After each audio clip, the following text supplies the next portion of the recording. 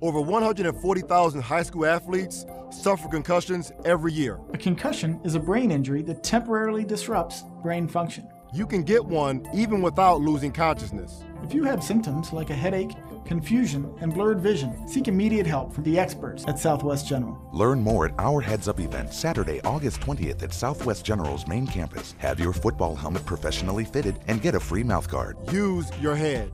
When in doubt, sit it out.